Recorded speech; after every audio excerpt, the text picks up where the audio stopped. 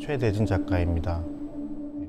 2004년에 인도네시아에서 발생한 헤일 쓰나미죠. 모든 동남아시아와 아프리카의 그 인도양을 접해 있는 인접 국가들의 피해를 입은 속난 자연 재난 형태를 재현을 했고요.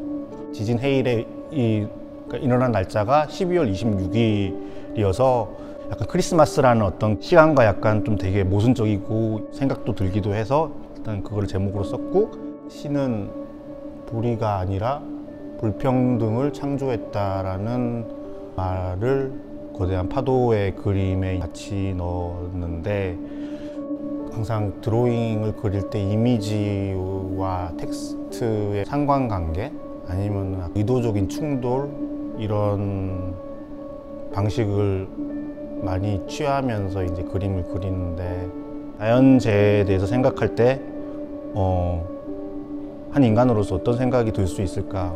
이런 거대한 자연 재난은 인재인가 아니면 인간이랑 상관없이 하늘에서 떨어져 버리는 그런 어, 현상인가? 과연 이런 얘기들은 어떤 의미가 있을까라는 어떤 질문을 던지게 하는 그런 제목으로 이렇게 썼습니다.